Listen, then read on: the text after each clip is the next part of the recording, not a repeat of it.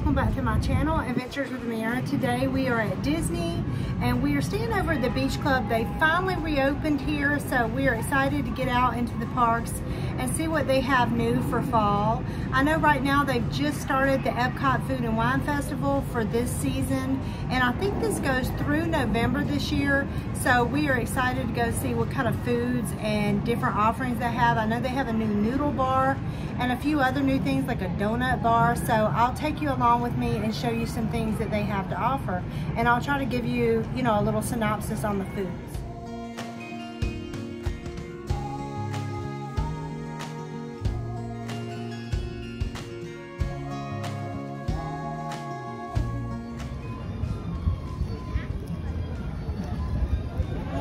Okay, this is one of the best things that we've ever gotten at the food festival here at Epcot. We are both very impressed. My son and I are sharing this before we go try a few other things and it's delicious so I would highly recommend it is a little spicy but not too bad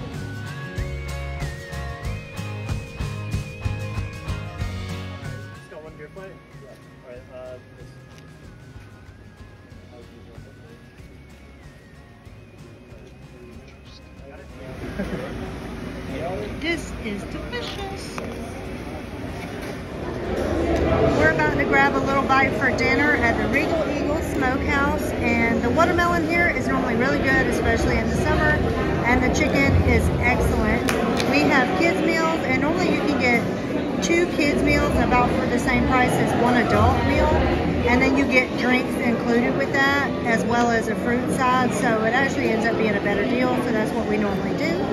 And we're gonna enjoy this. If you guys like barbecue chicken, that's freshly smoked, this is a great place to come.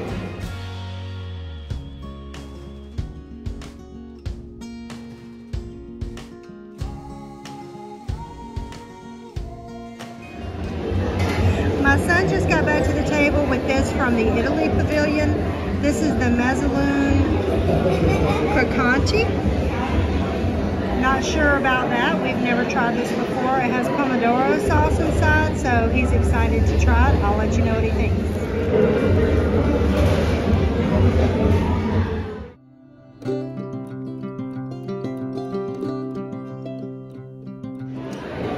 This is the amazing carrot cake from over at the America Pavilion, and oh my goodness, you guys, I love carrot cake. It's a southern favorite. I grew up eating this but this is one of the best carrot cakes I have ever tasted.